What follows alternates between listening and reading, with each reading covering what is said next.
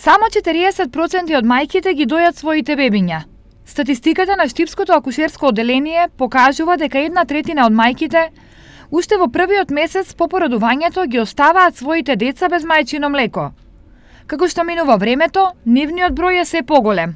Покажано е во статистиката дека во наредните три месеци веќе процентот значително се намалува и околу 45% од предходно воспоставеното доење значи остануваат мајки кои дојат.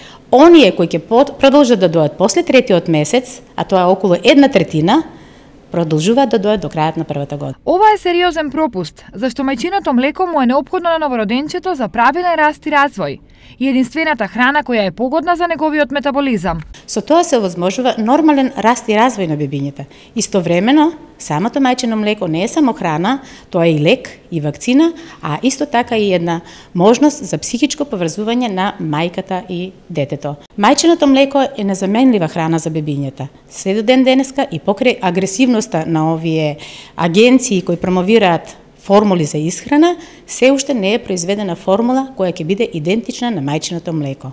Во него постојат и некои биолошки елементи кои не уште, се уште и со денешната технологија не можат да бидат произведени. Токму и поради ова од денес до 7 август се одбележува светската недела на доењето, како еден од начините да се поттикнат мајките да ги дојат своите деца. Во светот исполнет со нееднаквост, кризи и сиромаштија, доењето е основа за доживотно добро здравје на бебињата и мајките стои во пораката објавена на веб страницата на Светската здравствена организација по повод Светската недела на доењето, која годинава се одбележува под мотото Доењето основа на животот.